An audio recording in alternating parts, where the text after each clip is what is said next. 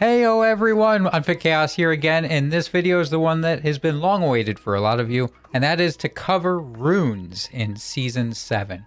Before we get into that though, let's go through the typical stuff, which is, disclaimer, this is from the preview event. So some of the stuff may change, some of these things may be tweaked or adjusted. This is just a first look at what the system is going to look like as it comes out in Season 7. Runes. This is what all of you probably really want to see. So runes, let's get into a few notes about these. First off, when the season starts, you're going to talk to the scholar, the war scholar, and they will direct you towards Thane. Thane will then give you your quest to unlock runes.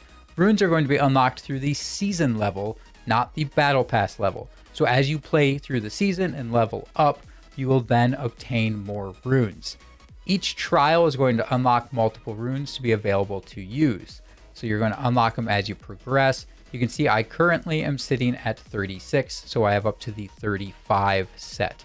And this is going to go all the way up through 45 for your season level. That really should not be that hard to obtain for anyone who plays the game at a fairly regular basis.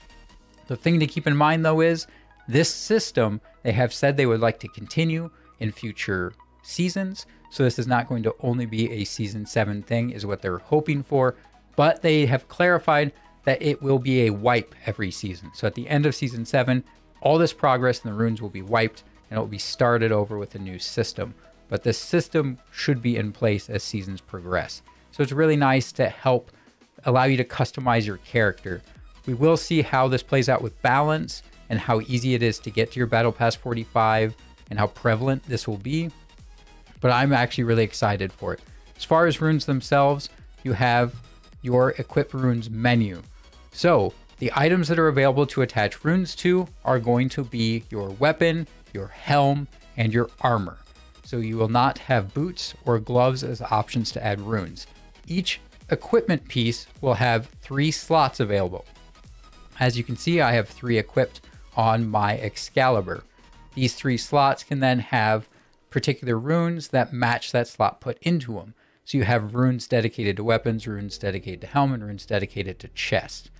You also have various weapons. So there are runes that are only longsword, runes that are only glaive, etc. So there's a bunch of options available. Each rarity of rune has a particular rune power associated to it. So as you can see, this legendary is four. These epics are three, uncommons are two, commons are one rune power. So you can have up to six rune power on each piece of gear. So that means you have two restrictions on your runes. You have three slots, so a total of three runes total, and only a total of six rune power. That means for certain pieces of gear, you're going to potentially only have two runes despite having a third slot because you're going to max out on your total rune power. So this means you're going to have to really plan out what runes you want to use for what gear. Now, as far as runes themselves, they are universal. Once you unlock them, you have them. They are one of each, and that doesn't mean you can only equip it to one piece. That just means it's a set item. So I can equip that rune across all the gear I have that it works with. It's not tied to a particular item. With that, they are presets that stay on the gear. That means if I switch out to a different item, like this maul, it will remember that that exact Excalibur had those exact runes attached to it. This means you can actually have preset gear. You can have, say, two different weapons, like two long swords, that have different stat bonuses and have different runes equipped to them. And you can switch based off what you're doing. You could have a siege piece of gear with certain siege runes, and you could have like a territory war piece of gear with certain territory war runes. You can kind of mix it up and match which is, I think, a really nice benefit to those of us that have a lot of gear and have played for a while. You can actually specialize your gear even more. I'm really excited for that aspect of it. Now, for runes, there are certain ones that I would look out for right away, but there is a whole bunch of different options. And I'm sure you're going to see lists out there that you can go through. I wouldn't be surprised if Concub adds a whole section dedicated to runes. But the few that I want to point out right away is one is Hodmimis. I hope that's how you pronounce it. This one is actually for Poleaxe. After the first strike of a normal attack, this grants invulnerability for 5 seconds. It can trigger every 30 seconds.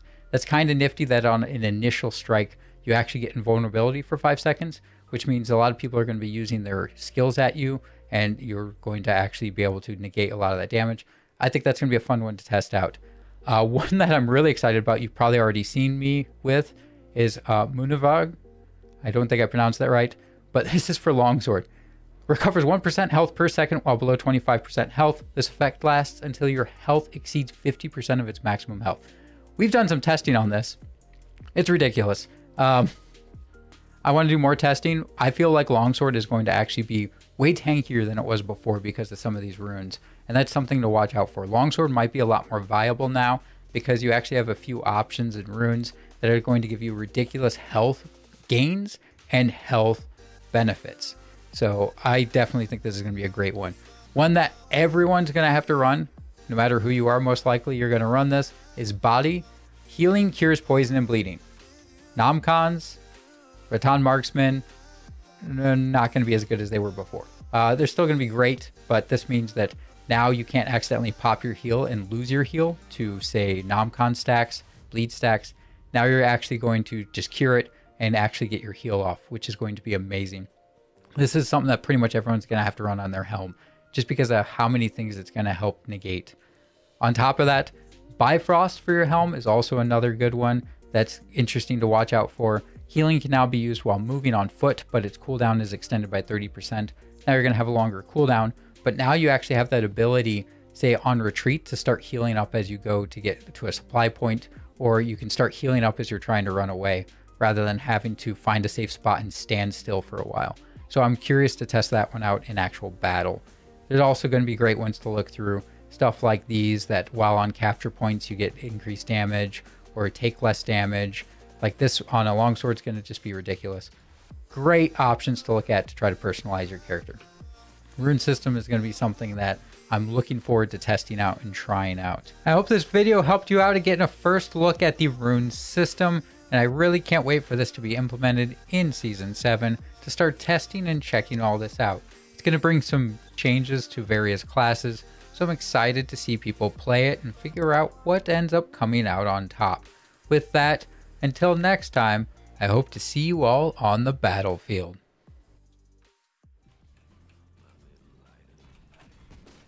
Yes! Yes! yes! Oh, got my kill.